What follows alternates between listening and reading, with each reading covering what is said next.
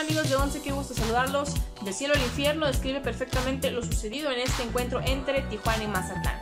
Los cañoneros le arrebataron los tres puntos al conjunto fronterizo y eso que Tijuana había arrancado con una ventaja de 2 a 0 gracias a las anotaciones de Mauro Manotas y Fidel Martínez. Sin embargo, desatenciones y errores constantes terminaron por desencadenar en dos penales a favor del conjunto sinaloense. Ambas sanciones cobradas por el ex de Tijuana Camilo Zambeso que significó el empate. Posteriormente en la recta final del encuentro, Michael Rangel apareció para convertir el 3 a 2 definitivo y quitarle estos tres puntos que ya Tijuana sentía en la bolsa.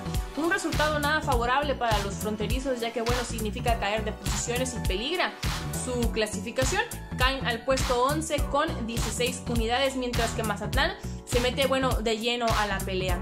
En ese sentido, bueno, también en conferencia de prensa habló Pablo Guedi y mencionó que son errores, son desatenciones, no culpa a los jugadores porque son decisiones que se toman en fracciones de segundos, sin embargo, reconoce que son errores constantes que le terminan costando bastante caro a su equipo. Para más información, estén al pendiente de las plataformas de Once Diario y oncediario.com.